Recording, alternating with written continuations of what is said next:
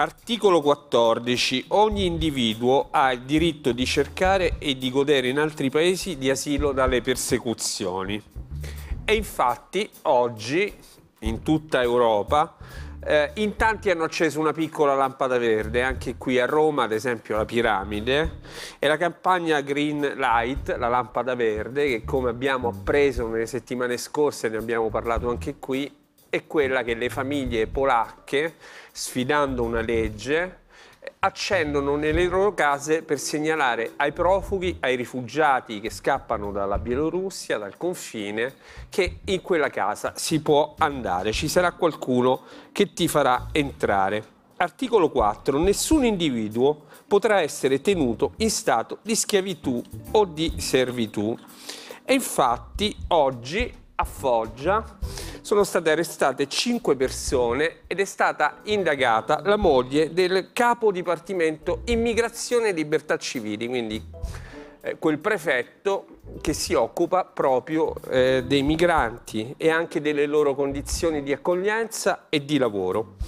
Nell'azienda, secondo l'inchiesta, eh, i lavoratori venivano pagati 5,70 euro l'ora in una giornata di 8 ore, eh, senza riconoscimento delle pause, in assenza di servizi igienici e senza protezione contro eh, gli infortuni.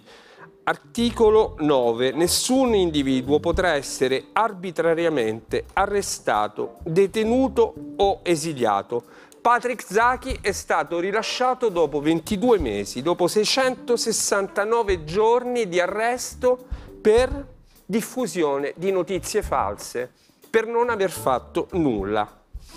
L'udienza è stata rinviata, lo sappiamo, al primo febbraio, è stato eh, scarcerato ma non ancora prosciolto e quindi la mobilitazione deve continuare. Articolo 5. Nessun individuo potrà essere sottoposto a torture. La battaglia di Paola e Claudio Reggeni invece dovrà continuare, dovrà continuare la loro e la battaglia di tutti noi per avere verità e giustizia su chi ha torturato e ucciso Giulio Reggeni. Articolo 1. Tutti gli esseri umani nascono liberi e uguali in dignità e diritti. Insomma, l'avete capito, sono gli articoli, alcuni articoli della Dichiarazione universale dei diritti dell'uomo 10 dicembre 1948. Oggi la ricordiamo, non è un documento astratto, come abbiamo sentito, è la cronaca di oggi. Ed è il manifesto della nostra cattiva coscienza, delle nostre idee liberal-democratiche tradite dell'ipocrisia dei sistemi democratici prima che di quelli autoritari, perché quelli non sono ipocriti. Eh, gli Stati Uniti hanno dato al generale Al-Sisi nell'ultimo anno 300 milioni di dollari per armamenti, 170 subito.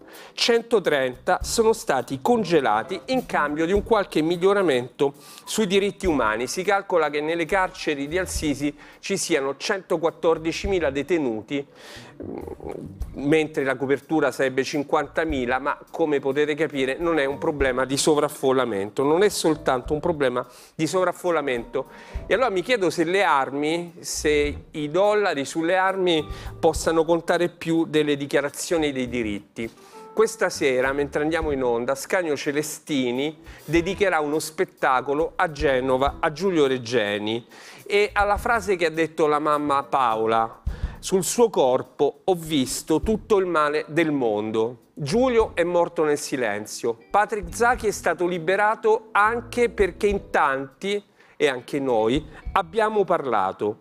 Ma su quei corpi si giocano tante partite politiche, economiche, diplomatiche, i corpi che non vediamo, i corpi dimenticati, i corpi che non sono riconosciuti, i corpi giocati sul tavolo della politica per creare paura o per mettere indignazione.